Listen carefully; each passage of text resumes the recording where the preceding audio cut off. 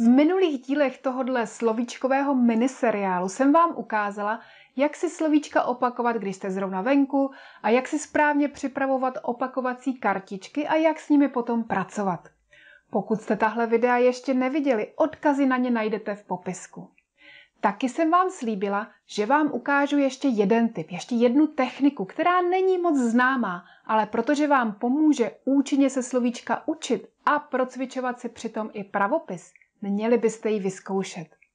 Pokud si ještě neznáme, já jsem Lenka a na kanále Lights Camera English pro vás připravuju zajímavosti o angličtině a taky tipy, jak se ji učit rychleji a zábavněji.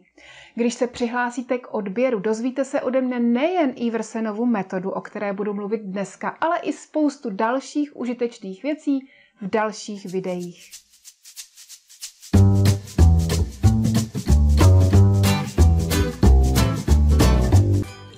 Tak tedy Iversenova metoda jmenuje se podle Nielse Iversena, který si ji vyvinul pro svoje vlastní studium.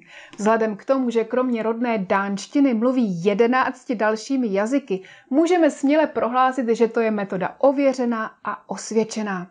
Potřebovat k ní budete tři věci.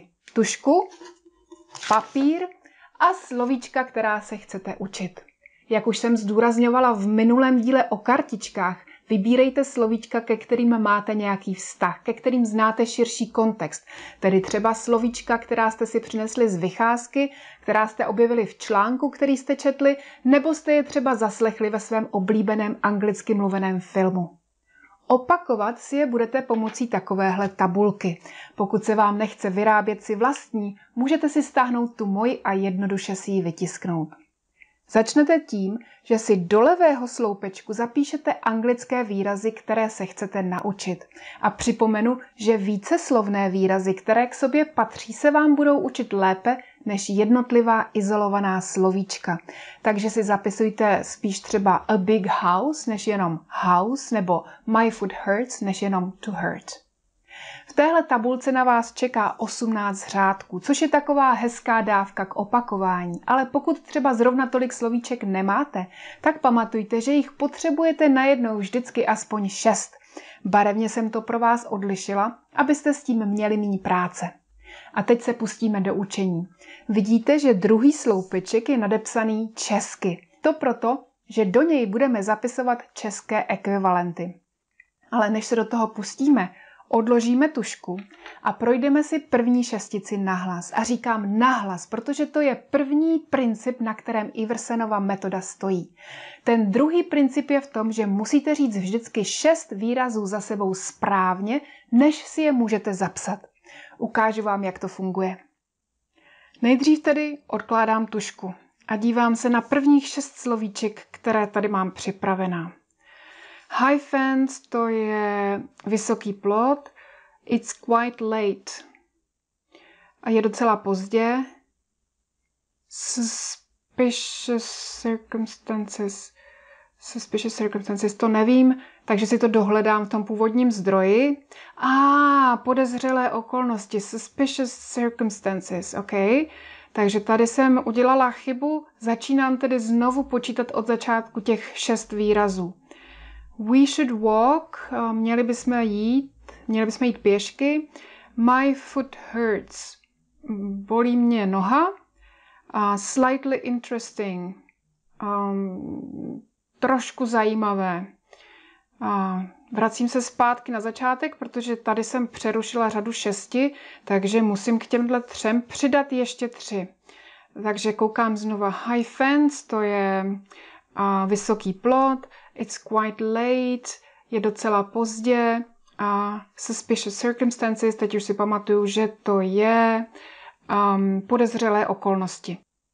A teď, když jsem tu šestici zvládla, vezmu si tušku a zapíšu české výrazy do druhého sloupečku.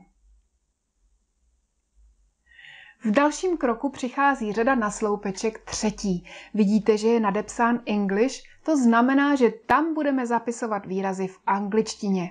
Jinak ale platí stejné principy jako předtím, tedy že nejdřív musím zvládnout nahlas šestici slovíček za sebou. Tentokrát si přitom budu snažit vybavit taky správný pravopis, protože teprve až to zvládnu, budu si je do třetího sloupičku zapisovat. A samozřejmě platí, že musí být zapsána správně. Tedy názorná ukázka. Teď tedy přichází řada na anglický sloupeček a já si zakryju tady tuhle tu část, abych nemohla podvádět. A mým úkolem je zase bez tušky a zkusit si říct tahle, tyhle ty výrazy v angličtině. Vysoký plot, high fence. Je docela pozdě.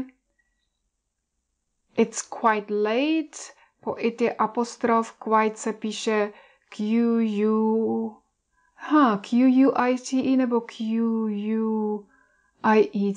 Ha, nejsem si jistá tím pravopisem, takže se podívám. Quite, Q-U-I-T-E, quite, Q-U-I-T-E, ale přerušila jsem řadu, takže začínám teď od znova.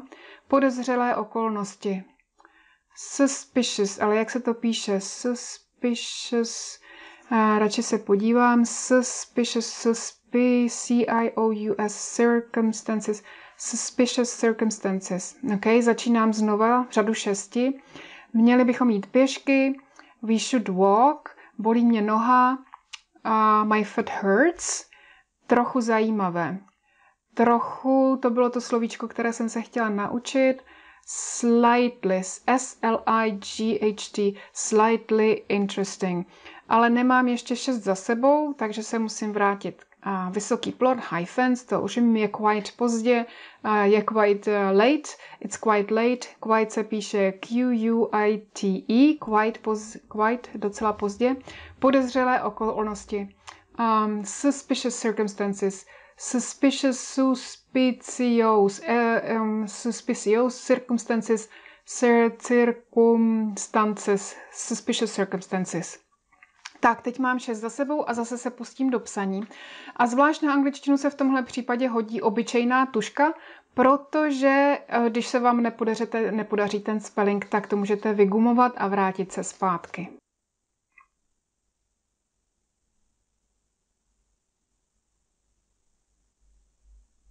Vidíte, že tady za tím třetím sloupečkem je tlustá čára.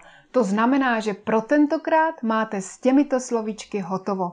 Můžete se teď pustit do další šestice, anebo prostě pro dnešek angličtinu zaklapněte a jděte si uvařit kafe. Ke čtvrtému a pátému sloupečku se vrátíte s odstupem několika dní. Můžete využívat postupně se prodlužující pauzy, podobně jako když pracujete s kartičkami. A když tedy přijde řada na opakování, postupujete stejně, jako už to znáte. Nejdřív zase bez tušky budete nahlas opakovat slovíčka anglicky a po nich jejich české ekvivalenty. A když zvládnete šest výrazů za sebou, zapíšete si je do čtvrtého sloupečku. A pak přijde opakování z češtiny do angličtiny. Zase nejdřív nahlas, přitom si budete připomínat i pravopis a když jich dáte šest za sebou, zapíšete si je. Pro další opakování, až zase uběhne nějaká doba, si můžete nachystat další list, nebo si můžete ta slovíčka, která vám nešla přepsat na kartičky, nebo s nimi dál pracovat v nějaké elektronické aplikaci, jako je třeba Readlang nebo Anki. Buďte kreativní, vyzkoušejte víc metod, ať si můžete vybrat tu, která vás baví a funguje vám, a nebo ať je můžete střídat. No a kdybyste hledali nová slovíčka, která se učit, Přihlaste se k odběru, protože v Lights Camera English připravujeme pro začátečníky i pokročilé spoustu materiálů, které se vám právě na slovíčka budou hodit.